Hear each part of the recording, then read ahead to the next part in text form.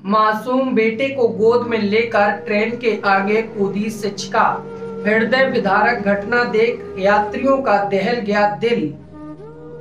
Delhi Howrah railway track स्थित भरतना railway station पर सुबह पौने आठ बजे रेलवे स्टेशन पर मौजूद तमाम प्रत्यक्षदर्शी रेल यात्रियों का उस समय दिल दहल गया।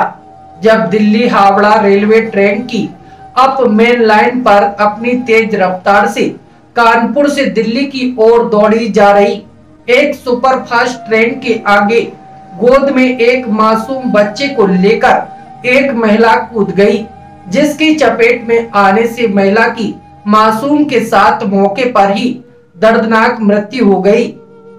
इटावा जनपद के भरतना स्टेशन के प्लेटफॉर्म नंबर तीन के पूर्वी छोर पर मौजूद प्रत्यक्षदर्शी रेल यात्री कुछ समझ पाते। इससे पहले महिला बच्चे को गोद में लेकर ट्रेन के सामने कूद गई।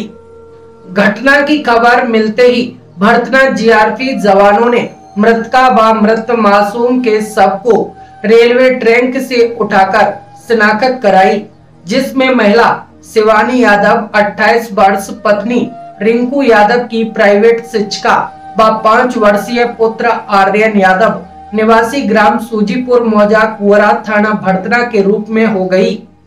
घटना की सूचना पर पहुँचे ग्रामीणों ने बताया कि मृतका शिवानी यादव भरतना में संचालित एक प्राइवेट इंटर कॉलेज में शिक्षिका थी। बुधवार को वह अपने पाँच वर्षीय मासूम बेटे आर्यन को लेकर घर से भरतना कॉलेज आई थी।